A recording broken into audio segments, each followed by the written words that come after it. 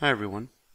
Today we're going to start uh, looking at the introductory material to the class uh, and try to get a handle on what is economics and uh, what is environmental and resource economics in particular.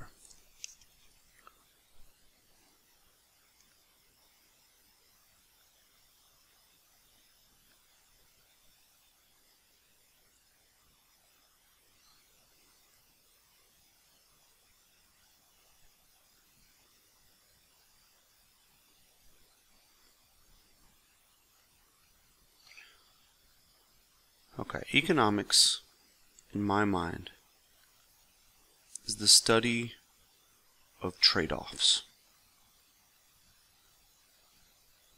Okay, we can embody this concept most clearly in the basic statement that there is no free lunch. Okay?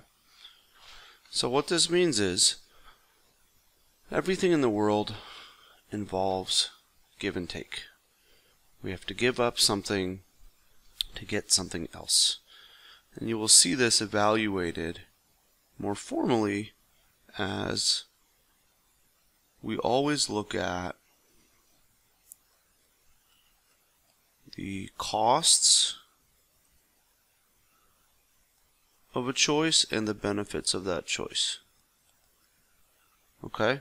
Some of these things are very simple. Okay, so if we look at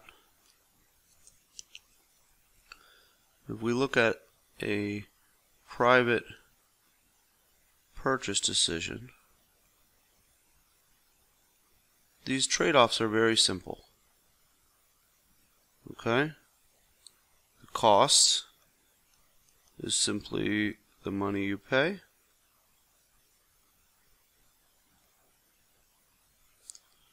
And the benefit is whatever value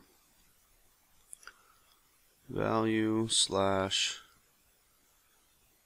happiness etc that you get from the product.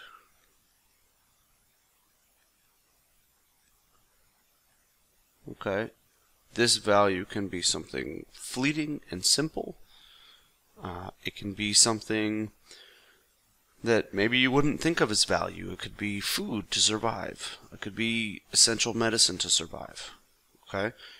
But it could also be not that serious. It could be uh, something you're just buying to enjoy. Maybe um, you're buying a song on iTunes, uh, or you're buying yourself um, a new tablet or an Apple TV or something like that.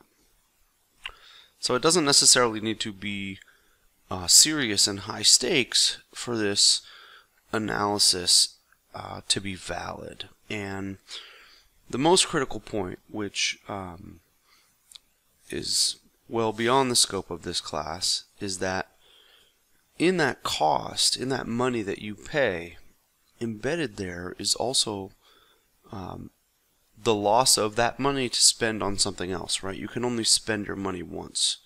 So if you take more and more economics classes and you get into uh, graduate study, there will actually be a concept called general equilibrium in which we try to evaluate um, how you allocate your spending among different products uh, subject to a budget constraint.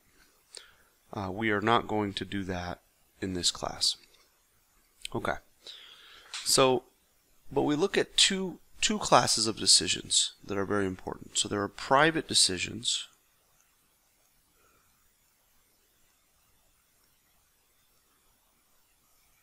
Okay. Private decisions might be, for example, whether or not to buy a pack of cigarettes.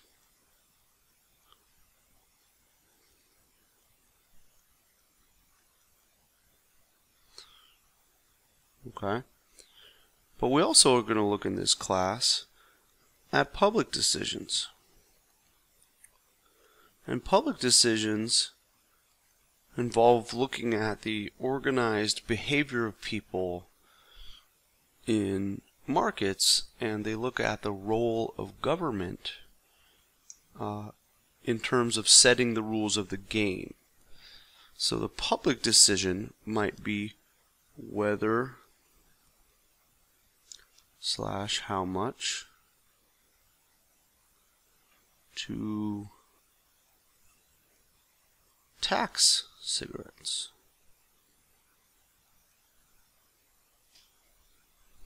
Okay. So let's look at the private decision first. The private decision, we have costs and benefits. Right? What are the costs of smoking? Okay, we have the dollars, right, to purchase. You have to pay for the cigarettes. Cigarettes are expensive these days. Okay. And presumably, you may have some small amount per cigarette of uh, long-term health costs.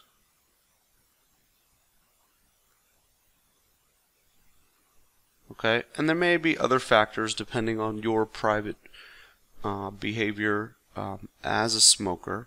So there may also be uh, costs imposed on others. Uh, maybe other people don't want to smell the cigarette smoke.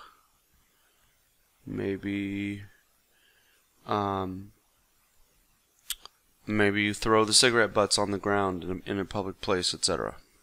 Okay, so those are the those are the costs.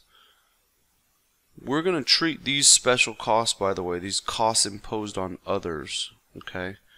These are going to be uh, something called externalities, which we'll talk about in modules 6 and 7 in more detail. Okay? What about your benefits? Well, presumably, you get some short-term enjoyment uh, out of the the cigarettes themselves. Uh,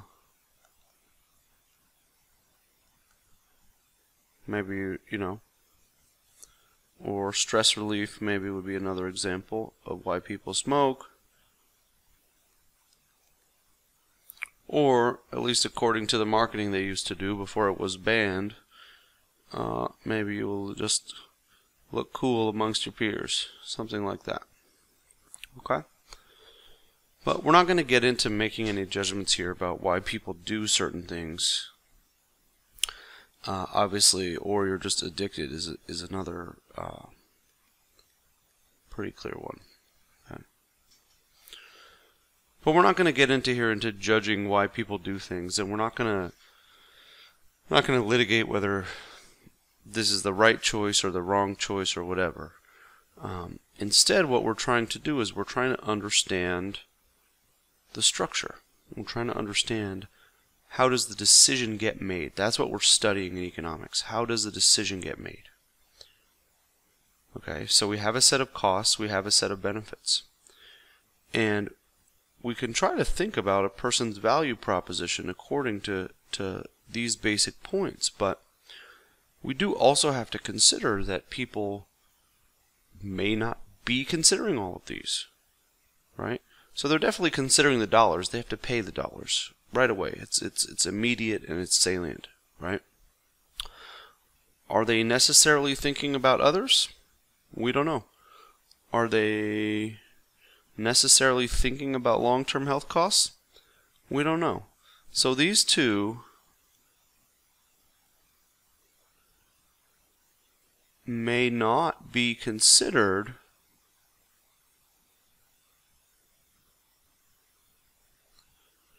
by cigarette buyers.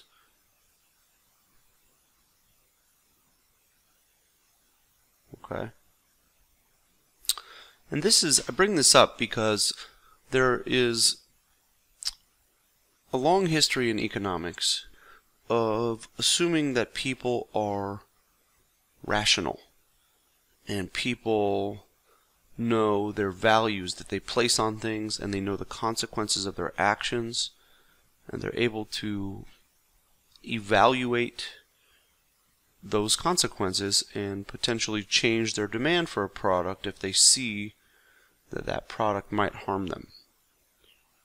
Okay, that's not always true Okay, but I'm just going to note it here for you because we're going to come back to it. So, what I, all I wanted to say was, is that this can violate our uh, what we call a rationality assumption in economics. Okay, so we assume that people are rational. The rationality assumption is really just uh, one way of restricting the choices that people make so that the math works, uh, which we'll get into a little bit later. Okay, but for now I just want to give you this vocabulary term, rationality assumption, and we'll come back to what that means. Okay, for now you can think of it as uh, the assumption that uh, people know their values and they know the trade-offs that they face and they account for them. Okay.